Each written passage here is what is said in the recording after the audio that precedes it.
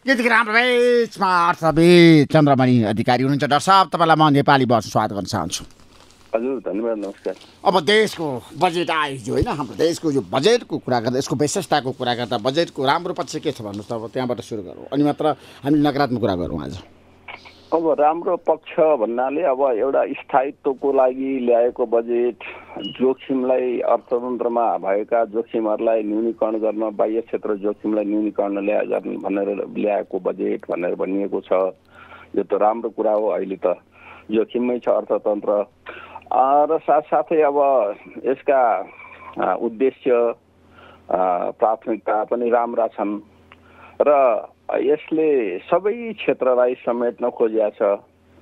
तपाईँको चाहिँ नि उद्योगलाई व्यक्तिलाई करको सम्बन्धमा इन्धनको सन्दर्भमा विद्युतलाई क्रमशः चाहिँ ग्यासलाई विस्थापित गर्ने विषयका कुराहरू आएका छन् कृषि क्षेत्रलाई प्राथमिकता राखेर कृषि क्षेत्रमा उत्पादकता बढाउने त्यस त्यसमा अलिकति अनुसन्धानदेखि संस्थागत व्यवस्थापन गर्ने कुराहरू गरेको छ र साथसाथै चाहिँ नै यसले चाहिँ नि स्वास्थ्य क्षेत्रमा पनि अलि थप कार्यक्रमहरू ल्याएको छ।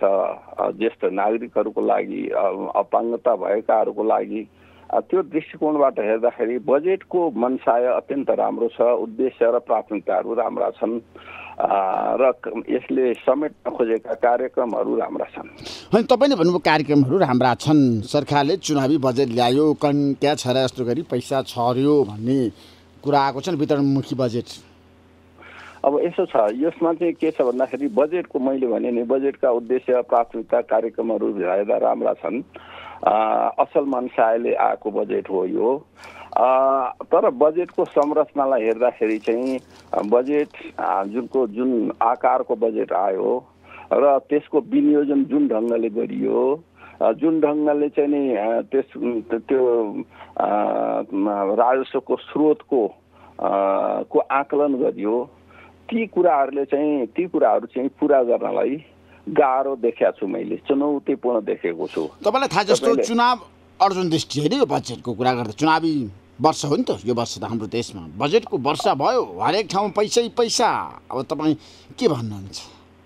अब हाम हेर्नुहोस् यहाँलाई पहिले बजेटकै कुरा गर्दा यहाँहरूसितै पनि मैले के भनेको छु भने बजेट दुई किसिमका हुन्छन्। एउटा बजेट आवश्यकतामा आधारित बन्छ आवश्यकता के छ के खोज्छ बजेटले कहाँनिर स्रोत र साधन विनियोजन गर्नुपर्ने छ? को कोबाट चाहिँ राजस्व परिचालन गर्नुपर्ने छ? र त्यसलाई चाहिँ हामीले के भन्छौँ? फेयर बजेट भन्छौँ।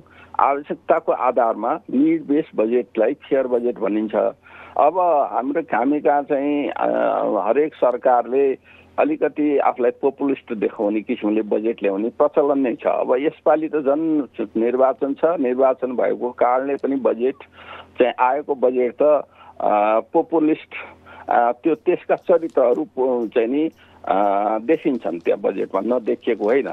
अब एउटा कुरा के देखिन्छ भन्दाखेरि जस्तो चाहिँ नि अठार सत्र खर्ब तिरानब्बे अरब तिरासी करोडको बजेट आयो भनेको अठार खर्बको बजेट आयो। त्यो बजेटलाई खर्च गर्नलाई चाहिँ नि एउटा त हाम्रो खर्च क्षमता नै छैन। अर्को चाहिँ त्यो अठार खर्ब स्रोत जुटाउने कुरा बडा एकदमै चुनौतीपूर्ण छ त्यो। त्यस कारणले गर्दाखेरि चाहिँ नि त्यो स्रोत जुटाउने कुरा चुनौतीपूर्ण भएको छ। अब त्यसमा चाहिँ पुँजीगत खर्च यस यसपालिको बजेटमा भन्दा जम्मा तिन दुई खर्ब दुई अर्ब मात्रै बढाइएको छ। तिन सय असी अर्ब पुँजीगत खर्च गरिएको छ। वृद्धि चाहिँ आठ प्रतिशत गर्छु भनेर भनिएको छ। अब पुँजीगत खर्च अहिलेको स्थितिमा कमसेकम छ खर्ब रुपियाँ पुँजीगत खर्च विनियोजन गरेर त्यो विनियोजन भएको रकम खर्च गर्न सक्यो र त्यसले निजी क्षेत्रको र सहकारी क्षेत्रको लगानीलाई पनि तानेपछि मात्रै आर्थिक वृद्धि हुने हो। हामीले भनेको व्यापार चाहिँ नि घाटा कम हुने हो। आयात विस्थापित हुने हो। तर दिने कुरामा पनि सरकार चाहिँ नि उदार भएर दे दिएको देखिन्छ।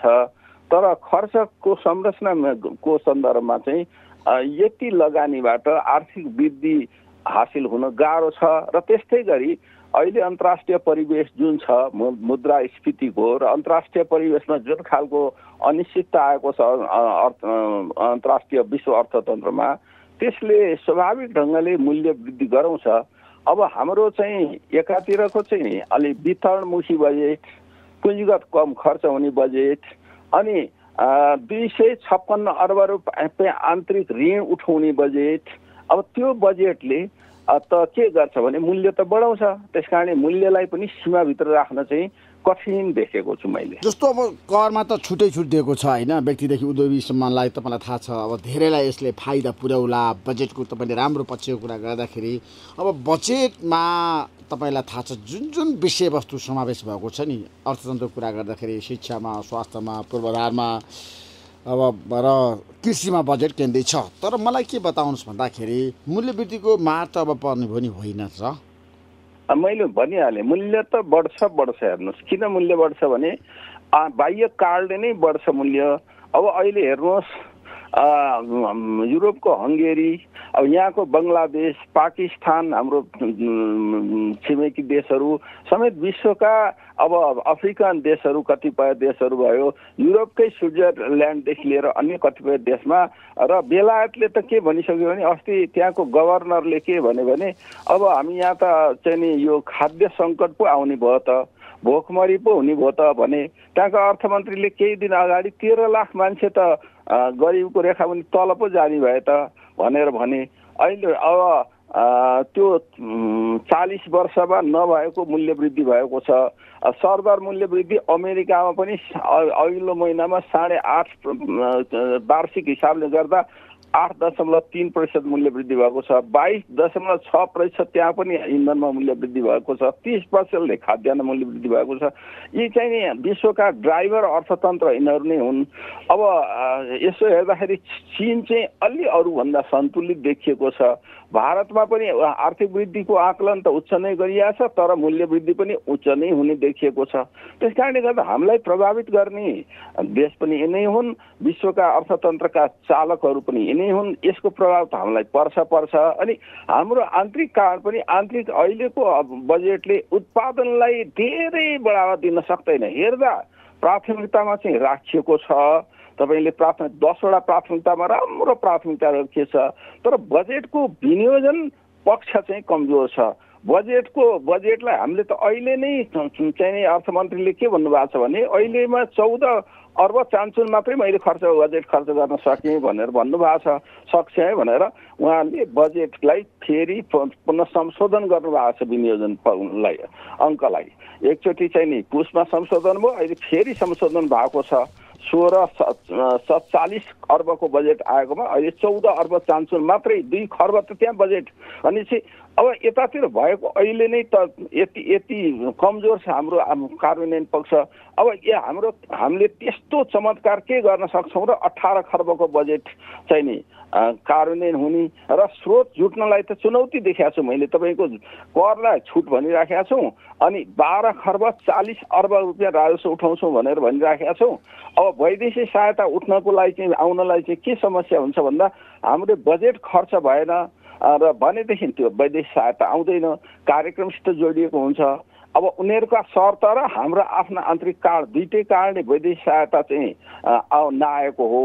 त्यस कारणले गर्दा वैदेशिक सहायता चाहिँ आउन गाह्रो हुने अनि राजस्व चाहिँ पनि लक्षित रूपमा नउठ्ने। भइसकेपछि हामी पैसा कहाँबाट जुटाउँछौँ भन्दा तपाईँको चाहिँ आन्तरिक ऋणबाट उठाउँछौँ। आन्तरिक ऋणबाट उठाएपछि त अहिलेको बजेट समस्या के हो भन्दा ब्याङ्कहरूसित तरल आम्दानी ऊ तरल चाहिँ नि ऊ छैन। तरल चाहिँ नि तपाईँको चाहिँ नि लगानी योग्य पुँजी नै छैन भनेपछि थप पुँजी सरकारले सोचिदिएपछि अनि निजी क्षेत्रमा लगानी कहाँबाट जान्छ? निजी क्षेत्रले अब करहरूमा छुट भनेको कारणले गर्दा चाहिँ नि राम्रो बजेट आयो भनेर भन्यो। निजी क्षेत्रको चाहिँ एउटा मोटिभ हुन्छ। ठिकै हो सरसर्ती हेर्दा त मैले नि राम्रै भन्छु बजेटलाई। तर बजेटको कार्यान्वयन पक्षलाई गएर हेर्ने हो बजेटको संरचनालाई हेर्ने हो यसको म्याक्रो इकोनोमिक चाहिँ चरित्रलाई हेर्ने हो समष्टिगत स्थायित्व यसले कायम गर्न सक्ला कि नसक्ला भनेर हेर्ने हो भने चाहिँ अत्यन्त चुनौती देखाएको छु मैले। त्यसो भए जाँदा जस्तो यसपटकको बजेटको कुरा तपाईँले गरिरहँदाखेरि हाम्रो देशमा बजेट आउँछ तर तपाईँले जनताको लागि अथवा भनियो भने एकदम ग्रामीणमुखी जनता क्या गरिब जनताको लागि चाहिँ कुनै पनि बजेटले त्यति ठुलो छ नि महत्त्व दिएको फड्को मारेको कुरा मैले देखाएको छैन है व्यवहारमा। अब तपाईँ यहाँले भन्नुभएको कुरा ठिकै हो। एकदम त्यो ग्रामीण जनता जनताहरूको आवाजै त्यहाँ पुग्दैन उनीहरू सङ्गठित पनि छैन। जस्तो अब यहाँ निजी क्षेत्र भन्यो ग्रामीण गाउँमा काम गर्ने एउटा सामान्य चाहिँ नि एउटा कर्मी पनि एउटा डकर्मी पनि एउटा सिकर्मी पनि एउटा सामान्य उद्योग चलाउने पनि सामान्य घर घरेलु उद्योग चलाउने पनि त्यहाँको किसान पनि त्यो त आखिर निजी क्षेत्र त त्यो पनि निजी क्षेत्र हो। निजी क्षेत्रको ठुलो अंश त्यसले ओगटेको छ। तर हामीले निजी क्षेत्र केलाई मात्रै ठान्छौँ भने यो चाहिँ ठुला र मझौला उद्योग चलाउनेहरू एफएनसिसिआई भयो अथवा एनसिसिएनआई भयो जुन सङ्गठित र राज्यसित पहुँच भएको पक्षलाई पनि मात्रै हाम्रो निजी क्षेत्र भन्ने हाम्रो चाहिँ दिमागमा बसिया छ। त्यस कारणले गर्दा उनी उहाँहरूको माग त पुरा हुन्छ। ठुला उद्योगीहरूको माग चाहिँ सजिलै पुरा हुन्छ। तर त्यो तल बस्ने किसानको र साना उद्योगीको माग चाहिँ पुरै हुँदैन र उनीहरूको लागि केही बनाइएका कार्यक्रमहरू छन् असल कार्यक्रम छ भने नि बिचैमा अरूले त्यस त्यस त्यसको फाइदा लिन्छ र त्यो जरामा पुग्दै पुग्दैन। त्यसै कारणले नै तपाईँले देख्नु भएको छ जग्गाहरू बाजा छन्। अब चाहिँ त्यहाँ वन बढेर आएको छ। त्यहाँ जङ्गली जनावरले बाँकी रहेका बुढामा पाका मान्छेहरूलाई बस्न नसक्ने अवस्था बनाएको छ। त्यस कारणले यहाँले भनेको कुरा ठिकै हो। त्यो चाहिँ व्यवहारमा चाहिँ जाने किसिमले अब हामीले व्यवहारिक हिसाबले त्यो तल्लो तहमा कसरी पिँढमा कसरी पुर्याउने भन्ने खालको सोचाइ चाहिँ त्यो बजेट निर्माणमा को बेला पनि नपुग्ने गरेकै हो। Thank you so much doctor Chandramani Adhikari. Nepali बसलाई समय दिनुभयो तपाईँलाई धेरै धेरै धन्यवाद दिन चाहन्छु। थ्याङ्क यू सो मच हजुर धन्यवाद नमस्कार हजुर धन्यवाद नमस्कार यो नेपाली रेडियो नेटवर्क यो नेपाली रेडियो नेटवर्क